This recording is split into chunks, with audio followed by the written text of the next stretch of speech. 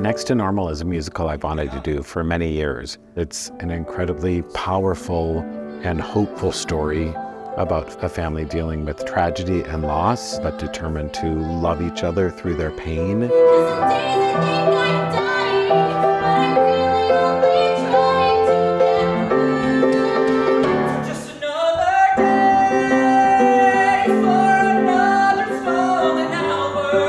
Struggling with mental health is much more common than we think that it is. I hope that we're helping to remove some of the stigma and to shine a light on what happens inside a family unit when one person is struggling.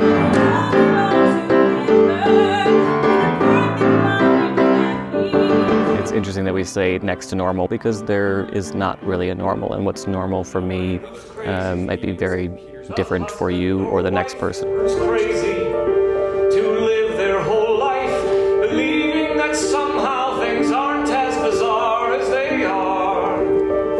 Everybody involved in this production is just doing our very best to honor this story and tell it with as much integrity as possible. It's a rock musical, but the, the music, it, it does feel like these characters are having conversations with one another. Um, and it's interesting that this music kind of lends itself to that form.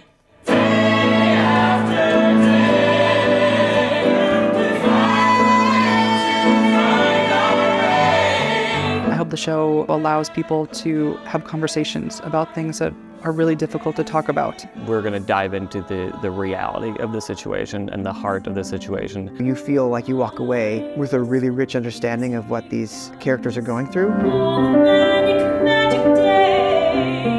I'm excited to be participating in a show that has a story that needs to be told. When we announced our season, uh, I had no idea that Next to Normal would be my last show as the uh, founding artistic director of Theater Latté Da. But this is a show that's been on my bucket list for a really long time. I'm thrilled to create this production for Twin Cities audiences at this time.